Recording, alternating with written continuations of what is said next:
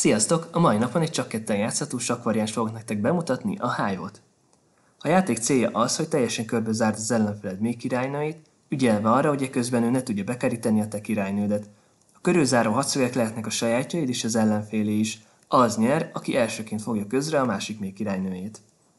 Az előkészületek során minden játékos magához veszi a 11 azonos színű hadszög korongot, és leteszi őket maga elé felfordítva. A játékot kezdő játékos letesz egyet a hadszögekből. A következő játékosnak úgy kell a sajátját letennie, hogy a hadszögek oldalai érintkezzenek egymással. A játékosok ezután minden körben egy-egy újabb korongot tesznek le, vagy mozdítanak a már korábban letett hadszögekig. A játék során bármikor le lehet tenni egy újabb hadszög alakú korongot. Az egyes játékosok azonban csak az első kezdő korongjukat tehetik egy másik játékos korongja mellé. A második körtől kezdődően kizárólag a saját korongjuk mellé igazíthatják az újabb korongjaikat. Fontos, hogy a mély királynőt az első és a negyedik kör között bármikor letelted, de a negyedik körben muszáj elhelyezned, ha addig nem tetted volna meg. Ha leraktad a mély királynődet, akkor minden körben dönthetsz, hogy újabb korongot teszel ele, vagy egy már korábban letett korongot mozgatsz el. A már letett korongokat úgy is mozgathatod, hogy azok érintkezzenek az ellenfél korongjaival. A játékban lévő korongoknak mindig kapcsolódniuk kell egymáshoz. Tilos a kaptárhoz nem kapcsolódó helyet kialakítani, vagy a kaptárt kettévágni. Nézzük, hogy a különböző élőlények hogyan tudnak mozogni. A még királynő csak egyet léphet körönként. A bogár a még királynőhöz hasonlóan körönként csak egy elmozdulást tehet.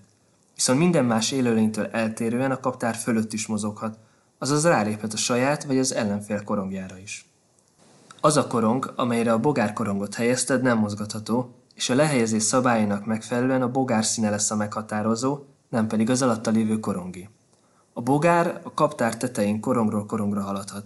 Egy olyan helyekre is leugorhat, amelyeket más hadszögek már körbevettek. Fontos megjegyezni, hogy amikor először teszed le a bogarat, nem helyezed a kaptár fölé. Ez csak a későbbi lépések során teheted meg.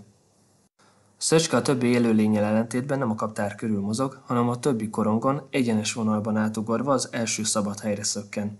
Így bevehetsz olyan üres mezőket is, ahova egyébként nem tudná eljutni, mivel már korongok veszik körbe.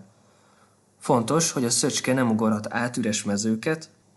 A pók körönként három elmozdulást tesz, se többet, se kevesebbet. Egyenes vonalban kell haladnia, és nem térhet vissza saját helyére. Csak olyan korongok körül mozdulhat el, amelyekkel közvetlenül érintkezik, és a mozgása során végig érintkeznie kell a többi hadszöggel. A hangya bármennyit elmozdulhat a kaptár körül.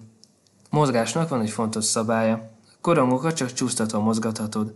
Ha tehát egy hadszöget a mellette lévők úgy vesznek körbe, hogy csúsztatva már nem mozdítható, akkor tilos mozgatnod.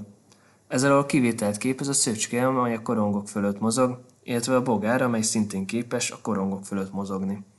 Ehhez hasonlóan nem lehet a korongokat olyan helyre becsúsztatni, ahová fizikailag rombolás nélkül nem tolhatóak be.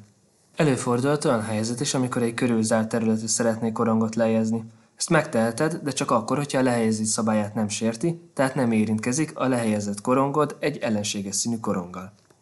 Ha egy játékos nem tud új korongot letenni, vagy a meglévők közül egyet sem tud elmozítani, a következő játékos jön. A játék addig folytatódik így, amíg az említett játékos nem képes új korongot letenni, vagy egy meglévőt elmozítani, illetve amíg nem veszít valaki azáltal, hogy az ellenfele körbevette a még királynőjét. A játék akkor ér véget, amikor a még királynőt teljesen körbe zárják a korongok, legyenek bármilyen színűek is, vagyis tartozzanak bármelyik játékoshoz is. Az a játékos veszít, akinek a királynőjét bekerítették, kivéve, ha az említett játékos utolsó lépésével az ellenfél királynője is bezáródik.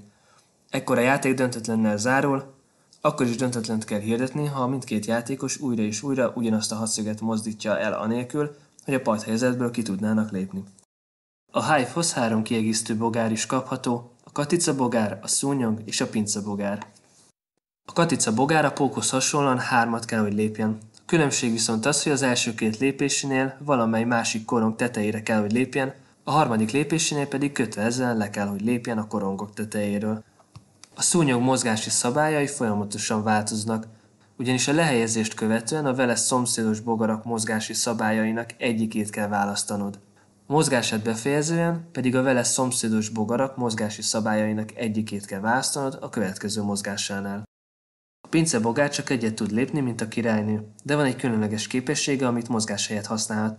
Ezzel a képességgel a pincebogár egy szomszédos bábút, legyen az barát vagy ellenség, két lépéssel elmozgathat. Először magára lépteti a választott bogarat, majd egy másik szomszédos, üres területre mozgatja át. Pince bogár négy helyzetben nem mozgathat bogarat. Az első, ha olyan bogarat szeretne mozgatni, amit az ellenfél az előző lépésével vitt a pince bogár mellé. Második, ha olyan bogarat szeretne mozgatni, ami fölött található egy másik bogár. Harmadik, ha olyan bogarat szeretne elmozdítani, aminek az elmozgatásával megtörne a kaptár egysége, vagyis a kaptár ketté szakadna.